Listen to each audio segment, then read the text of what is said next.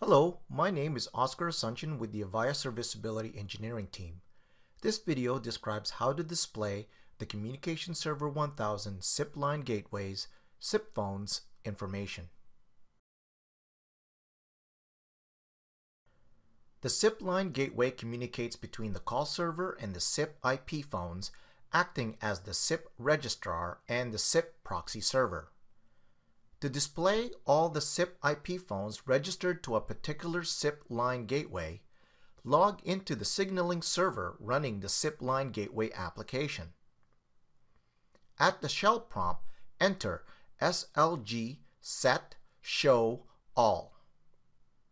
The user ID and TN for each SIP IP phone will be listed. Please note that the TN shown is a virtual TN within the call server not a physical TN.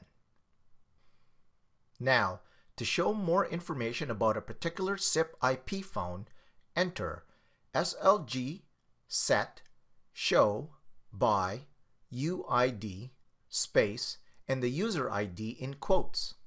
In this example, we are using 2130. The output may be several pages depending on the state of the SIP IP phone. In this first page, the IP, port, and transport protocol is displayed. In the second page, key 0 displays the extension of the phone. And in the last page, the rest of the phone's key assignments and subscription info are shown.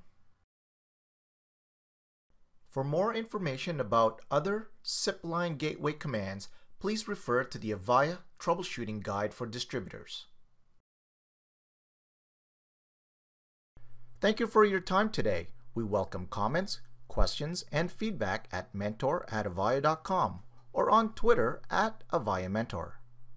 For more details or related information, please visit support.avaya.com. Thank you for choosing Avaya.